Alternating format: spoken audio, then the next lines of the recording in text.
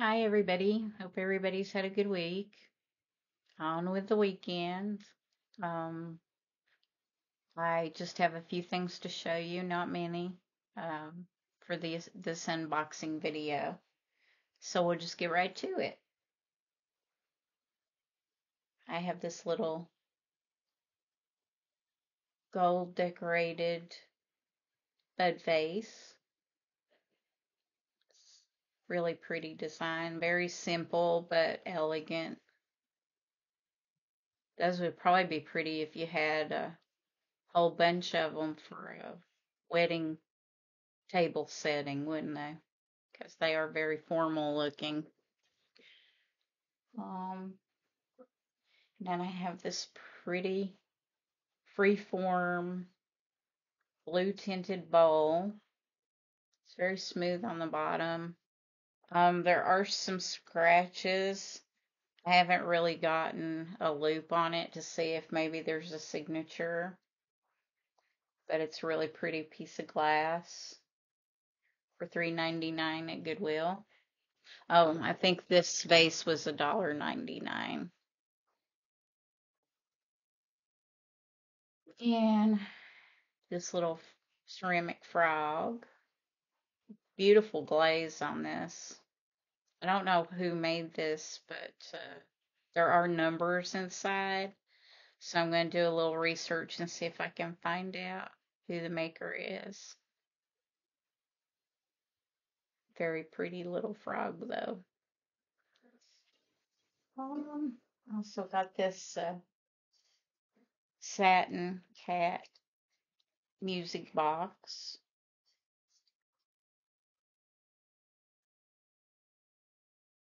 For $4.99.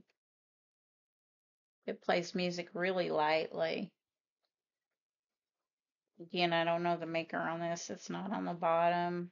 It's not signed. Um, it does have some scuffs on it and stuff, but I think I can get those off with a magic eraser. It's just a little dirty. I have to be careful with it though because it has the mechanism in it that makes it play music.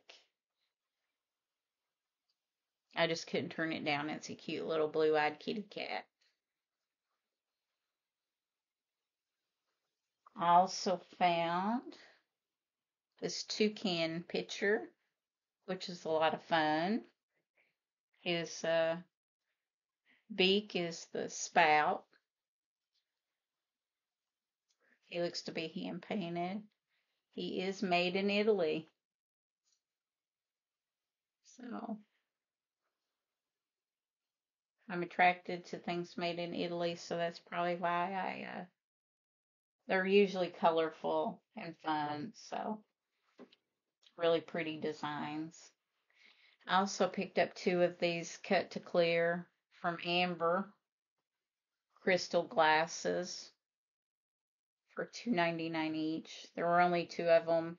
They had two others, but they had horrible chips all around the top. So I got the only two that didn't have the chips. So maybe somebody will need the set of two to go with their set of two or four. That's how it works sometimes. All right. And let's see what we got. Ah, yes, for Christmas. I picked up this stack of brand new Pier 1 plates. They're Christmas plates. Uh, looks like they got different, they're different colors and they have different kinds of trees on them. And they've never been opened, the package. Somebody probably got them for Christmas and didn't want them. Donated them to Goodwill. And since uh, Pier 1 doesn't really exist anymore unless they have an online store still, I thought somebody might like to have these.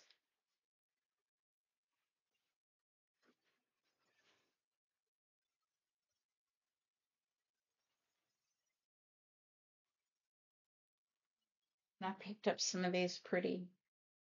I don't know if this is depression glass or not, but it is the um, color pretty pink. Um, they actually are signed in two different places. but I can't read them without my glasses.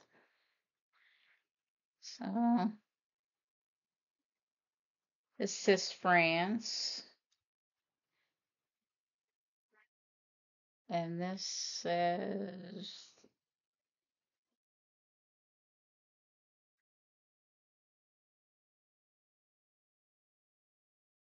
Vereco, made in France. So these are really pretty. I got one, two, three, four, five, six of those. They were $1.99 each. I hope they're worth a million dollars, huh? Then I don't have to go to work tomorrow. But I'm not going to hold my breath on that. Oh, let's see what else we have here.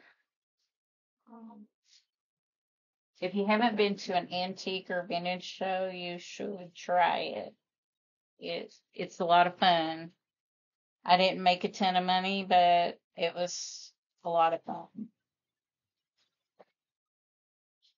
The people are uh, going for the signs that you put on your front porch. And I'm more into the glass and the vintage and antiques. This is a Pier 1 base. It's a like a sage, light sage green with the uh, rust and the brown stripes around it. It's pretty heavy glass, so that's a very very pretty vase. Someone will appreciate that. That would go really good with the southwestern theme, and it would lighten it up some with that background color.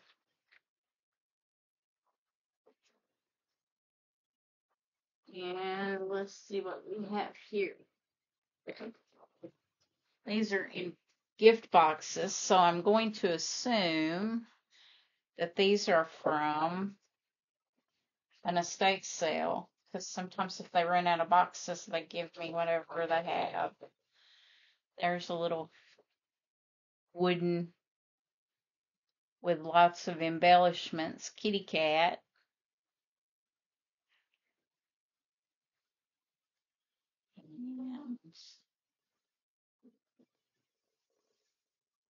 Let's what's this one. Oh, this is a pretty little glass perfume bottle. It's like a chintz design.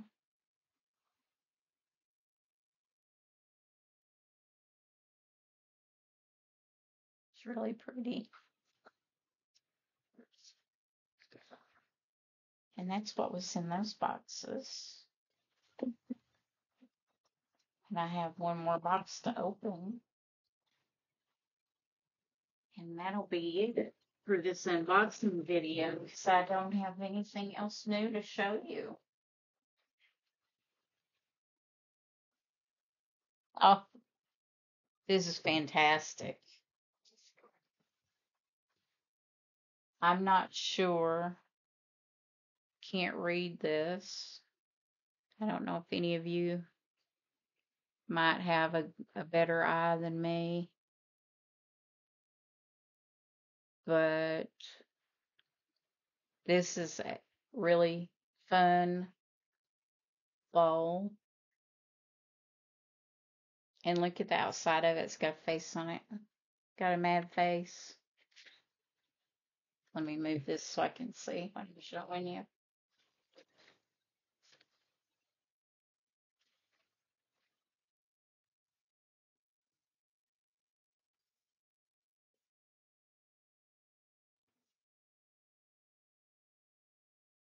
Look at that face.